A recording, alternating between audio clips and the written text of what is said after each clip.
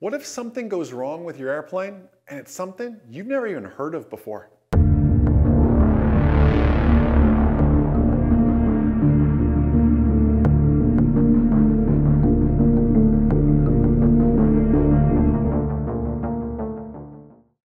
MzeroA Nation, Jason here. Did you do your previous homework? Because this video, while it'll be cool and it'll make some sense to you, it'll make a lot more sense if you've done your homework. By your homework, I mean going all the way back. Hopefully you've watched the analysis of the Kobe Bryant accident and then more into this theme of this Boeing McDonnell Douglas bit that we've been talking so much about, especially watching Lion Air and learning about the MCAS issue because you're to see some similarities here today. By the way, please make sure that you're just catching up with us. Like, subscribe on YouTube, like us on Facebook. It means the absolute world to us. And leave us a comment to check in. Let me know where on earth are you watching this right now? That's your question. Are you at the gym? Are you at work when you should be working watching this? That's okay. Total, I'm at work right now too, so it's okay. Let's dive into it here uh, quickly. This will be a short one for us today. Departing Stockholm, uh, the aircraft, an MD-81, was de-iced, but it was not inspected by the de-ice crew. Shortly after liftoff, pieces of ice slammed into the fans of both engines, deforming the fan blades sufficiently to disturb the airflow to the compressors. That disturbed airflow caused the compressors to stall, and this then caused the engines to actually surge. Now the flight crew responded by throttling down a little. Their engines were surging, so they throttled down a little. But an automatic system, the ATR, Automatic Thrust Restoration System, a system that had not been described to the flight crew of Scandinavian Airlines System, SAS, simultaneously increased the throttle as a response to the asymmetrical engine power and the reduced climb rate. Thanks to another pilot on board who had actually studied the systems, they were able to turn off the automation, lower the nose, and they're able to glide towards the only open field all 129 people on board survived.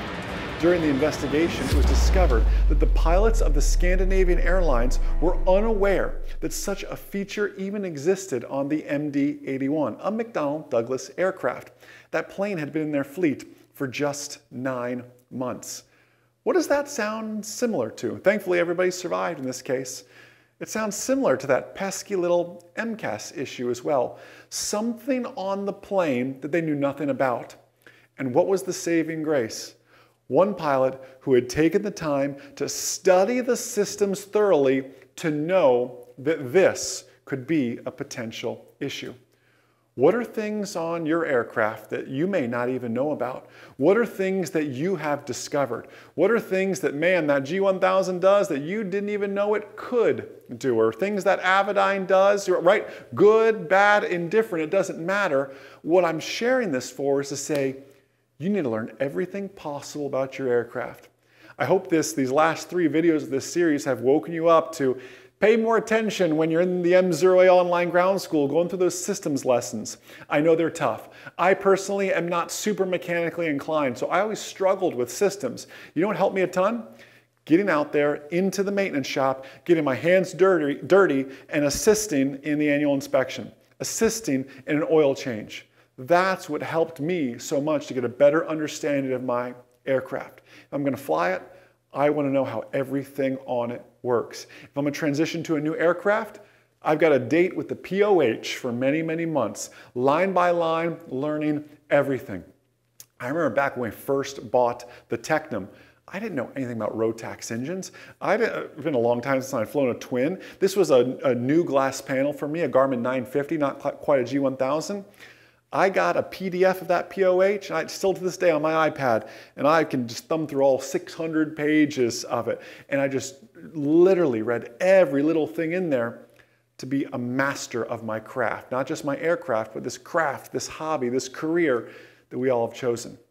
What are some areas you're going to focus on from this? And I, and I, don't, I don't share this series to, to scare you. That's not the purpose ever of any accident analysis. I share all this with you to make you think not just outside of the box. Geez, don't think outside the box. Don't even look at the box. There is no box. Look beyond that and think bigger than that. What can you be doing this week, this month, this year to make you that safer, smarter, real world pilot? Is it getting the written test done? Is it getting in the MzeroA online ground school? Is it making the transition to that next aircraft? Whatever it is for you, take action on that. Why don't you put it in the comments? What action are you committed to taking this year to make you a safer, smarter pilot? Put it in the comments right now, and I and the entire MzeroA team and the MzeroA Nation, this great family we have here, we're your accountability partners. Let me know in the comments down below. Have a blessed, outstanding, abundant rest of your day. And most importantly, remember that a good pilot is always learning. Have a great day, everybody. I'll see you.